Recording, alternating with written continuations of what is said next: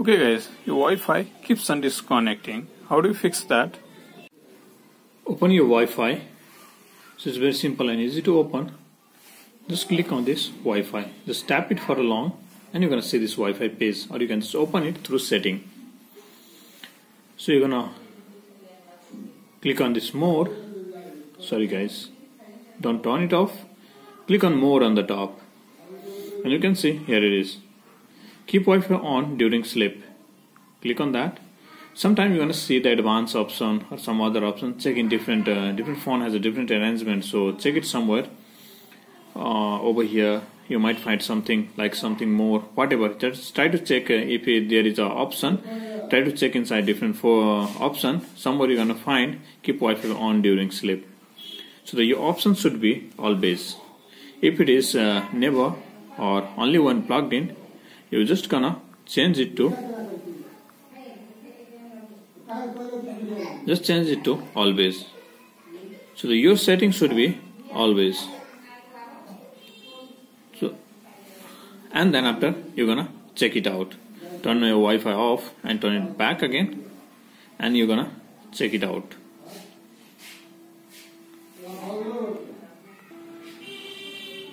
Whether it's fine or not guys you're gonna open the setting in your phone and then so somewhere so different phone has a different arrangement. So somewhere you're gonna check for updates. In my phone it's a about device and here it is. On the top itself software update. In some phone in the setting page itself in the on the top you'll find a system update and all this stuff. So somewhere you're gonna find update. Or you can search manually on the search in setting. Now click on update now. It will check for updates and install all necessary updates. Sometime updating a system will fix your lots of problem. The last updated has already been installed. So if any update is available, just update it. It will definitely fix lots of your problem. So update your phone and check it out. Okay guys, you can see over here, it's uh, settings you have to open the setting page and somewhere it's gonna say application. Different phone has a different arrangement.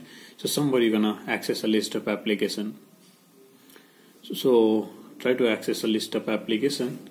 So when you access the list of application somewhere you're gonna find setting. So here's uh, some application manager. So check somewhere settings. Okay so, okay here on the so I didn't find settings over here so somewhere try to access a different folder. Somewhere it might find uh, settings. There are these many folders. So here you can see it's all in the list of all application. Somewhere must be settings. It is arranged in alphabetical order so go to letter S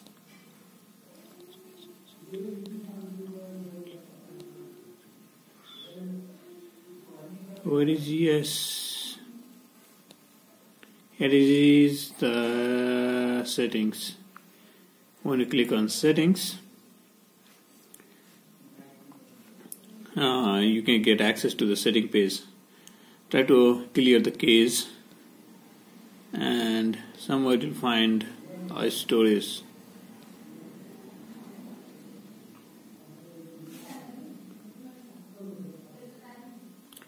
so you can just uh, clear the case clear the data so read it before you do it because your application data will be permanently deleted. This includes all the file settings that you have done database and everything. So before you do it you can read it. Once you have done it again go back to same application and you're gonna access it So try to access uh, list of applications. Okay, not in the default application. Is application manager. Again, go to settings.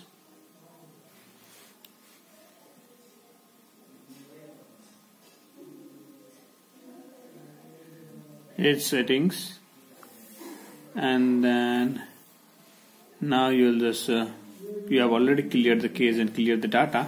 Now you'll force stop it. So what you guys gonna do? Just force stop it. Click on ok. Done with the force stop. Now what you're gonna do? Just restart your device.